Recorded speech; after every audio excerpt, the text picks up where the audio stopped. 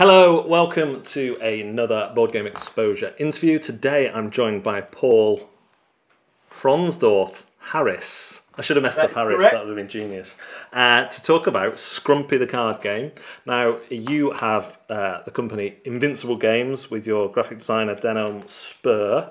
So, talk to us about how you go from being a board gamer to someone who says, I can do that, and uh, you end up with a cider based board game. So I guess I got into board gaming maybe only six, seven years ago. Um, I got went through the route of I started playing lots of Settlers of Catan with some friends, and playing lots of. Um, we then played the Risk Legacy, Okay. and that was that was our way into the new world because we played Risk Legacy Hmm. and we loved it, and we went, "This is different from games we played before."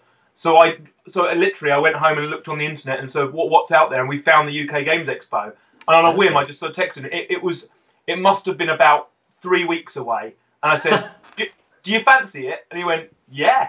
So we booked tickets and we went to the UK Games Expo, and that was our. So we knew at the time we went. This must have been probably seven years ago.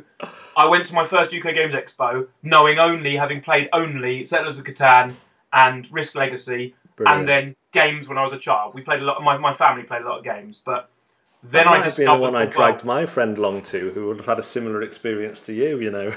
Yeah, well, it's exactly that. We, we went there and we just booked in for the whole weekend, and we went, we're, we're doing this. And we went up on the front, and we just stayed in the the, the hotel up there, the little Holiday Inn, and we just went went there. It was just like we were properly in a uh, children in a candy store. And then I've always been someone who's quite creative, and I started to have ideas for games. Having when I started playing lots of games, and, and Hmm. I joined groups and started traveling to different conventions. I started going down to the, the board game playing conventions as well as the because the thing I loved about the expo was was the playing conventions. Then I started, I as you know, I set up my own convention, and um, that was quite popular. And um, HandyCon, if anyone's ever heard, not, not never heard of it, but check it out once once once we're all allowed out. But um, through that, I started to get a, a, a desire to design games. I had lots of ideas, so I um I just started playing around with ideas. And uh, at, at AireCon about four years ago, I was starting to play around with this idea I'd had for ca- using cards as resources as well. So I'd thought about different ways. Why would you have cards as resources? Well, you need a setup which is a small game where you've got resources that the work is a small group of workers and a small group of resources, and that's where Scrumpy started to come out, from. And it, when I first played it, I, I clearly been inspired by things like Dominion and ear earlier deck building games, some of the earlier deck building games Yeah, yeah. I played. And so it was a pool of different workers that you chose to add to your deck, and you built built up by choosing the cards. And gradually, it's evolved into more of a deck manipulation game, which is what we're calling the mechanic. And, and it, there, will be other games that feature a similar mechanic, but it's not deck building in the sense that you maybe only add five to, to ten cards to your deck the entire Okay. game.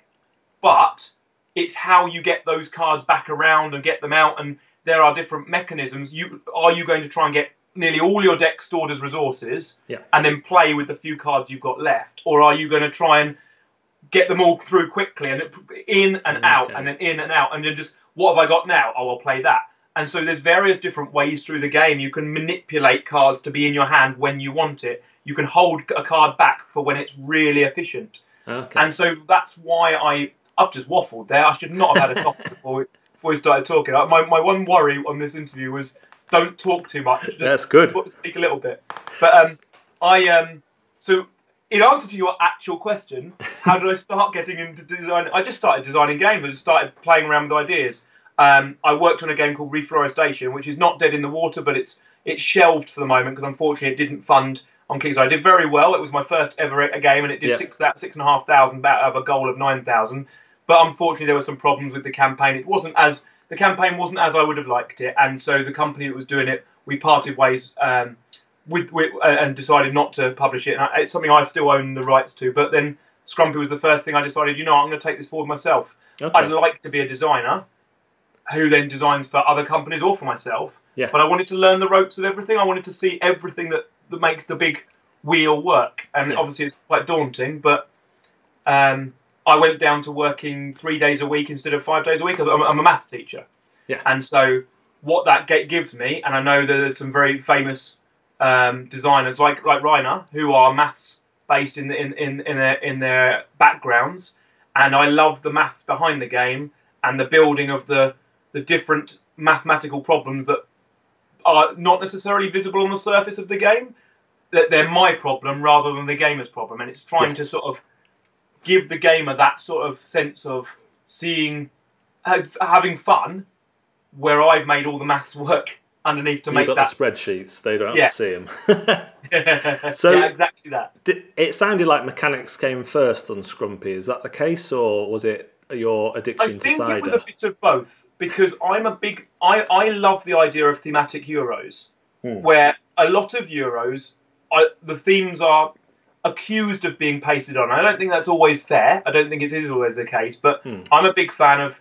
I want people to play Scrumpy and feel like they've pre- they've made cider, even though you haven't literally feel like they've pressed the thing. I want them to feel like, what did you do? I, when they say, I don't want them to say, oh, I put some cards in and got some points. Hmm. I want them to feel like, yeah, well, I made cider and then I sold the cider and got points, and I, and so theme theme is important to me, but there's also the argument that many people would make that, that it, it, it is really a setting because when you press cider, you don't take your cards and press them. There's no actual pressing of, of cards. It it's trying to bridge that sort of Euro mechanics and theme as well.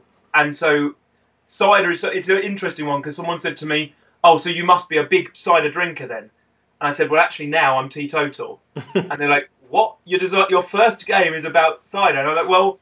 I always used to drink lots of cider, and I'm not strictly teetotal in, this, in the most strictest sense. I, I, have maybe three, four drinks a year, but I drank enough at university, I think, to sort of last me a lifetime. And I think I'm just trying to space it all out and let my liver recover a bit. uh, but yeah, it's it's it's one of those things.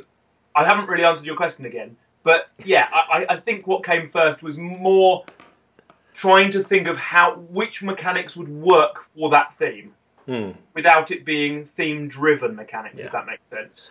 And it's been around in various forms for a bit now, hasn't it? So um, yeah, I was at the UK Games Expo in 2017 with it.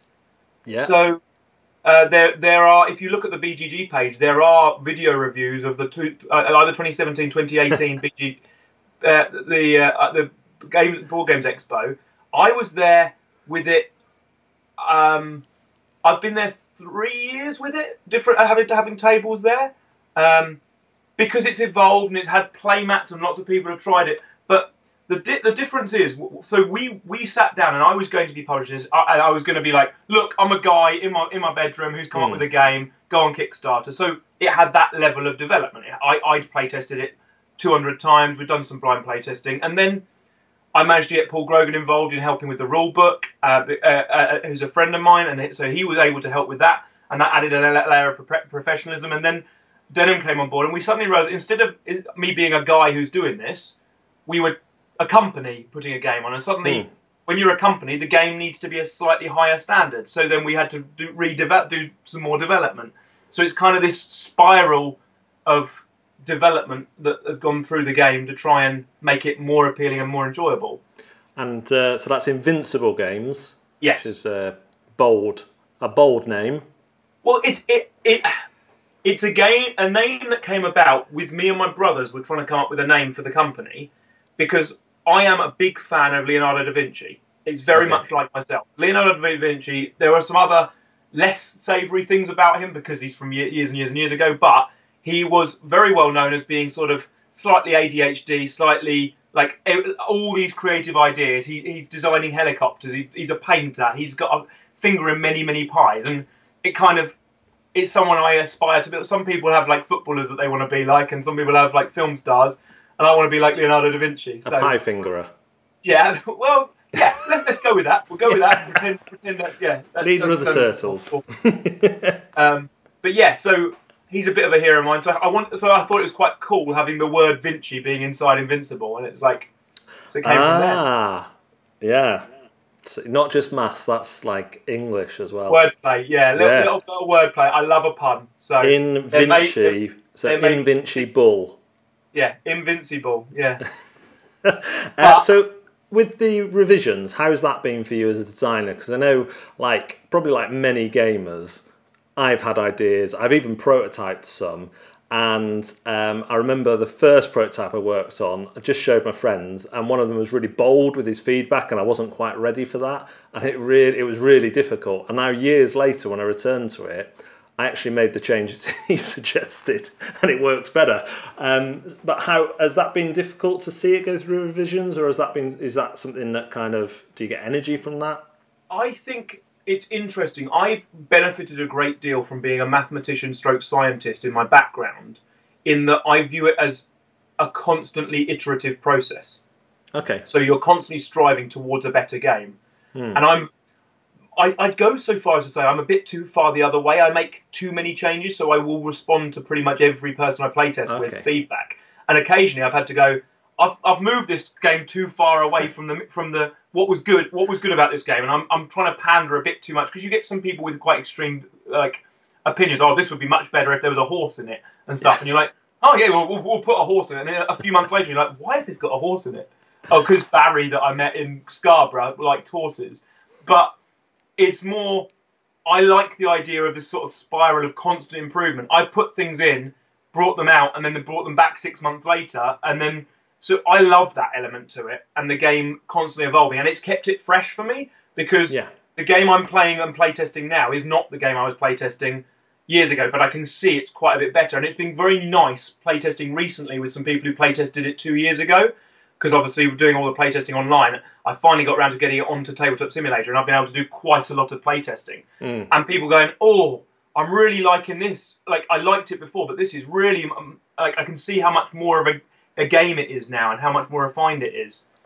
Um, but I've I've got boxes on my shelf, like in front of me here, where I've got games which I've shelved, but I will want to start working on. So I want to work on a game. Um, I've got a, a Euro, quite an ambitious Euro that I want to work on um, about designing and building a zoo.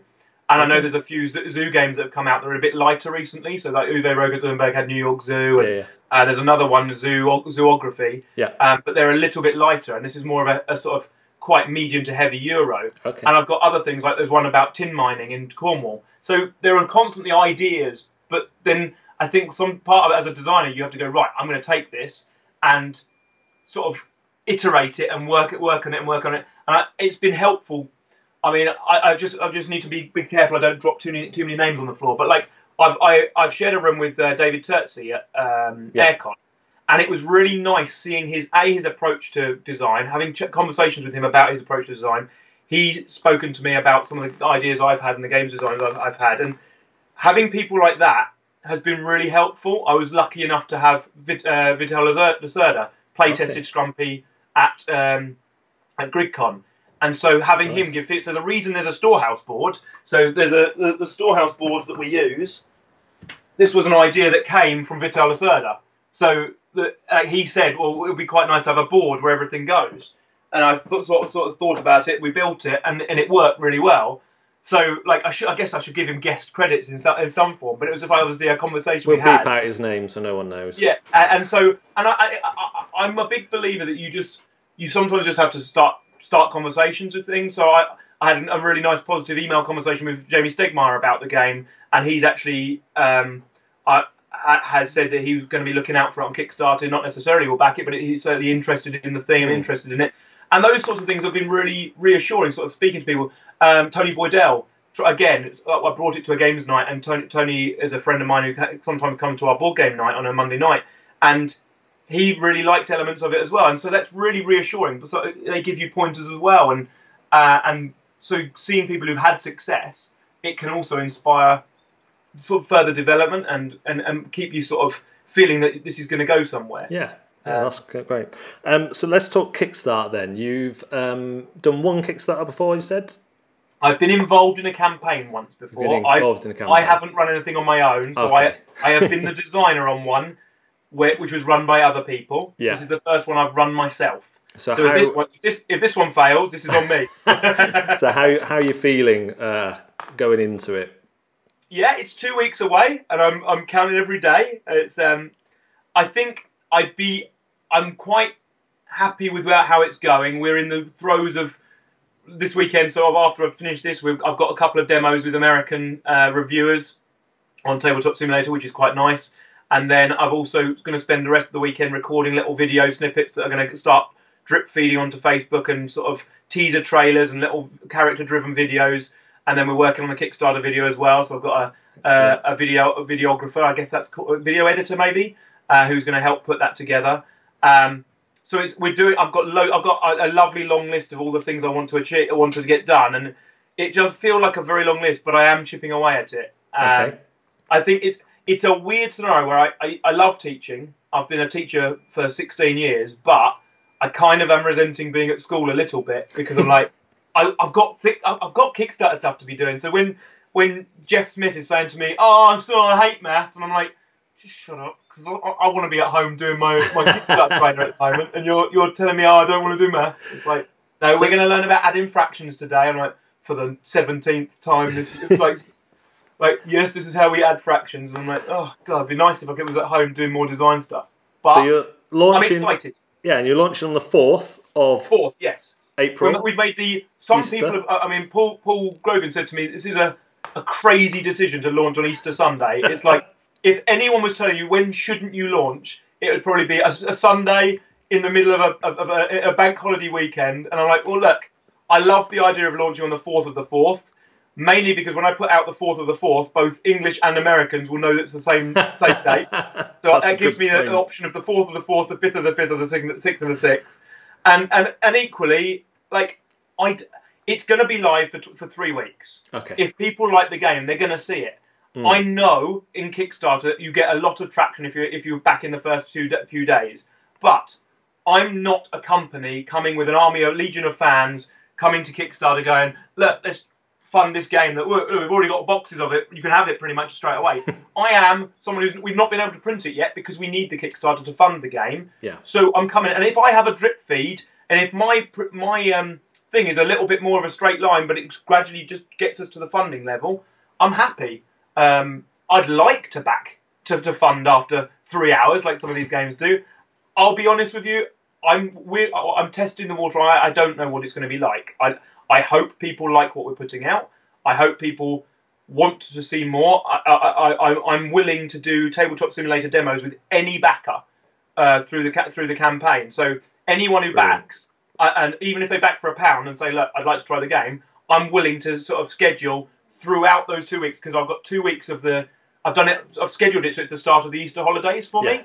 So I can at any time of the day. I'm I'm willing to get up at four in the morning and do a demo with someone in Macedonia or or get up at six, six uh, uh, get up at one in the morning and do a demo with someone in Chile. I, I, I don't mind. I just want to give everyone a chance to see see for themselves, and I find it very difficult because I don't want to sell people a game that they they might not want. I only want people to back it because they like the game. So I yeah. want to get the game image, and I'm kind of trying to sell myself a little bit because the game is made by myself, and I want them to get my enthusiasm across and and those sorts of things.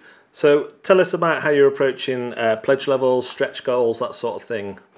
So there's there's two things. What, two things we're doing that are a bit different. So I'm very much of the, of the opinion that I want the game that you back for on Kickstarter to be the game that is available for retail. Mm-hmm. What we're looking into doing at the moment is having a pack that you can buy that comes with all the Kickstarters.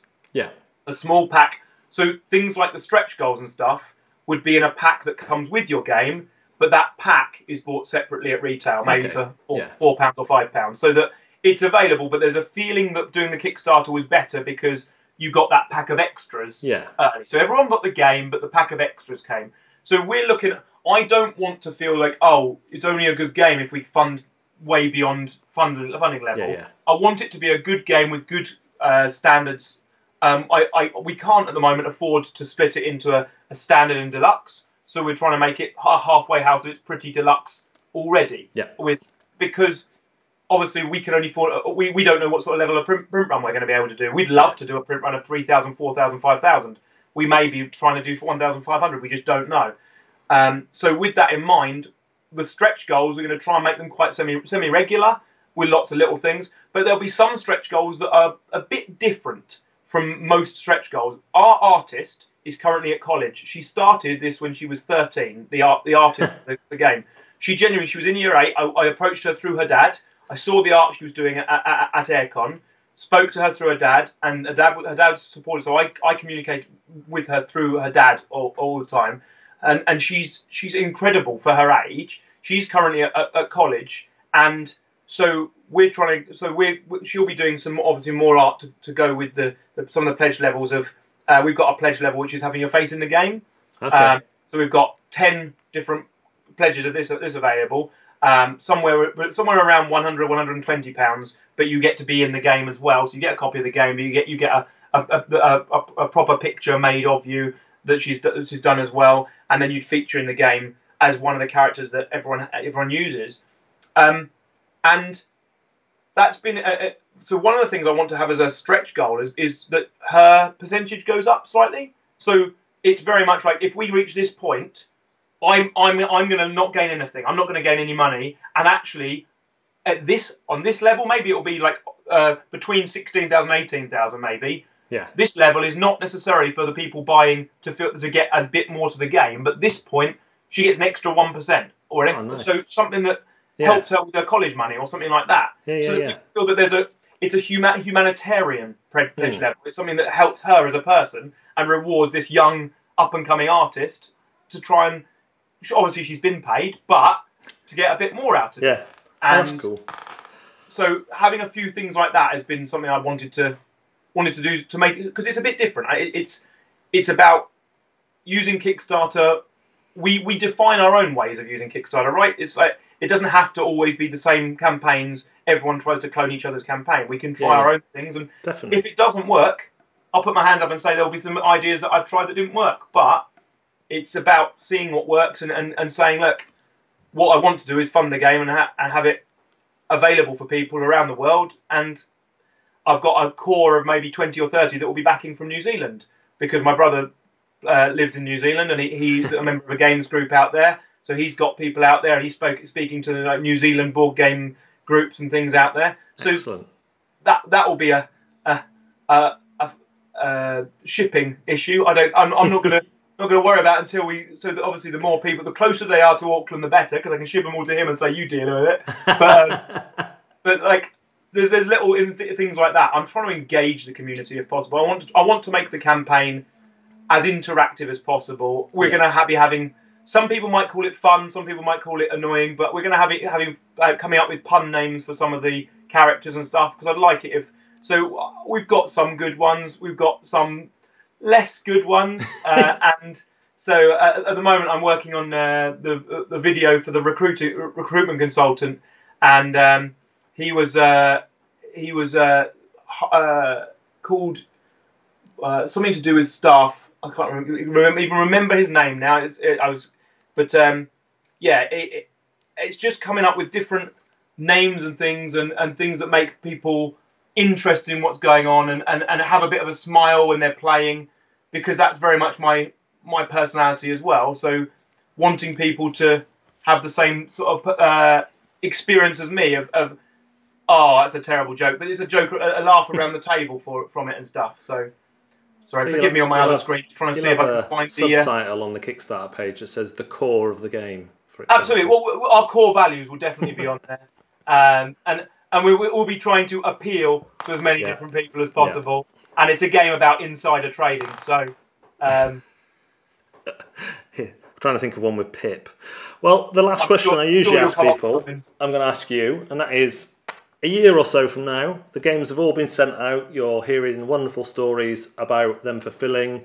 Uh, what is on the cards at that point for Invincible Games? Do you already have another Kickstarter going? Are So- you? my my vision is i- i- if we're looking at wildest hopes, my wildest hopes are that this will be successful enough that I could even take a sabbatical from teaching for a year and and grow Invincible Games so that in September uh, we're looking we're preparing to launch maybe a November Kickstarter Okay. for for a big Euro, and then we start to try and build on that success by doing a smaller game and a bigger game each year.